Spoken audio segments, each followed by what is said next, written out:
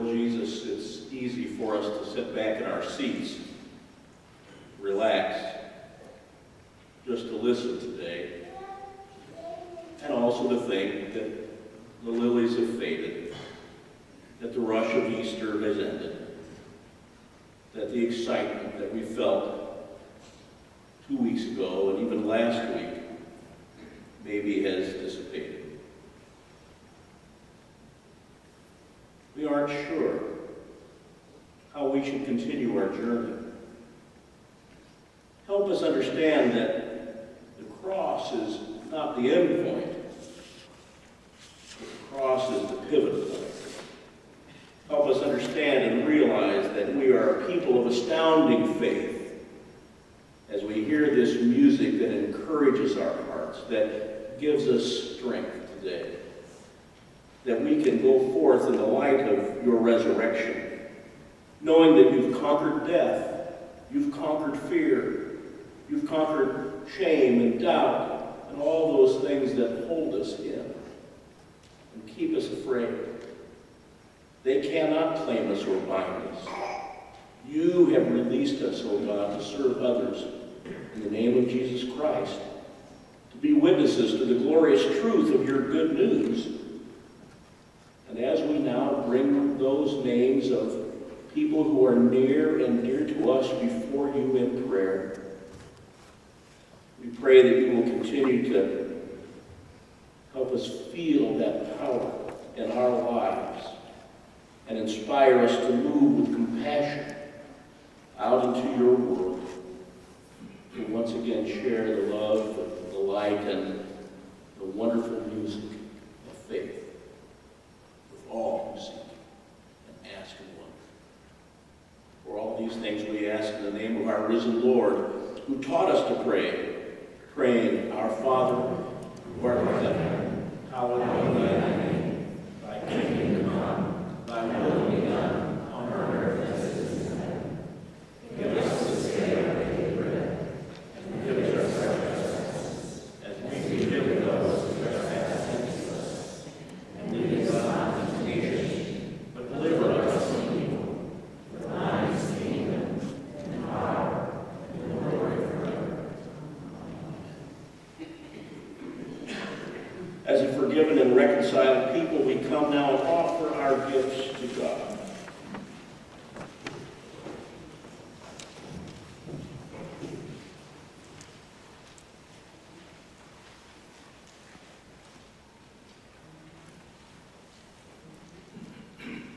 Then I looked and heard the voice of many angels, numbering thousands upon thousands, and ten thousand times ten thousand. They encircled the throne, and the living creatures and the elders. In a loud voice they were saying, Worthy is the Lamb who was slain to receive power and wealth, wisdom, strength, and honor, and glory, and praise. Then I heard every creature in heaven, and on earth, and under the earth, and all the seas, and all that is in them, saying, To him who sits on the throne, and to the Lamb be praise, and honor, and glory, power, forever and ever. The four living creatures said, Amen. And the elders fell down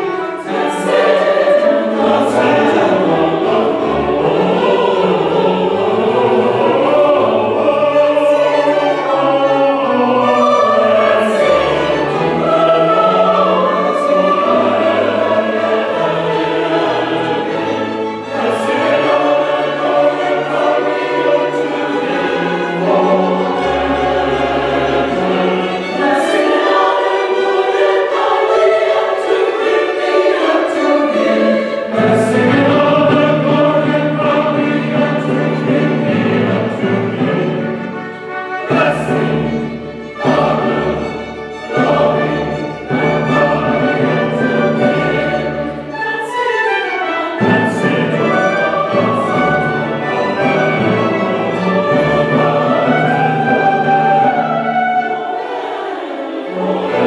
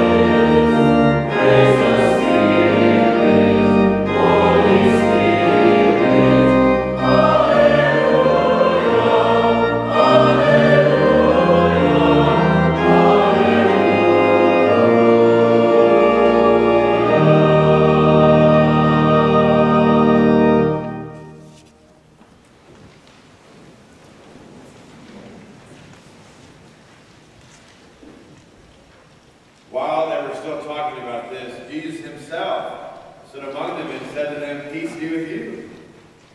And they were startled and frightened, thinking they saw a ghost. He said to them, Why are you troubled? And why do doubts rise in your mind? He said to them, This is what I told you while I was still with you.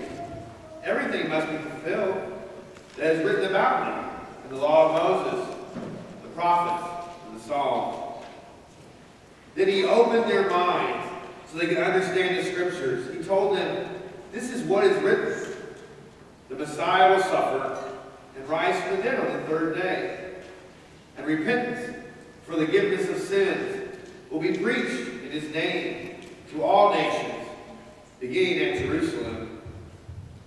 You are witnesses of these things. I am going to send you what my Father has promised, but stay in the city until you have been clothed with power from on high. When he had led them out of the city of Bethany, he lifted up his hands and blessed them. While he was blessing them, he left them and was taken up into heaven. Then they worshiped him and returned to Jerusalem with great joy.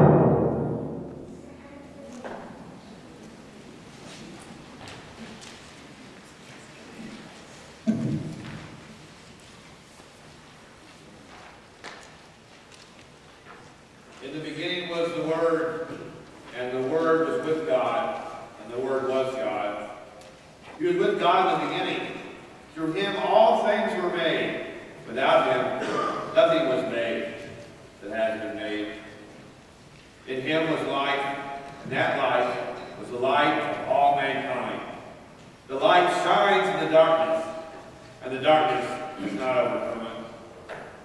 True light that gives light to everyone was coming into the world. He was in the world, and though the world was made through him, the world did not recognize him. He came to that which was his own, but his own did not receive him. Yet to all who did receive him, to those who believed in his name, he gave the right to become children of God. Children born not of natural descent, nor of human decision, or a husband's will, but born of God. The Word became flesh and made his dwelling among us. We have seen his glory, the glory of the one and only Son, who came from the Father, full of grace, truth. Out of his fullness, we have all received grace in the place of grace already given. The law was given through Moses. Grace and truth came through Jesus Christ. But there are also many other things that Jesus did. If every one of them were written down, I suppose the Word itself would not contain the books that would be written.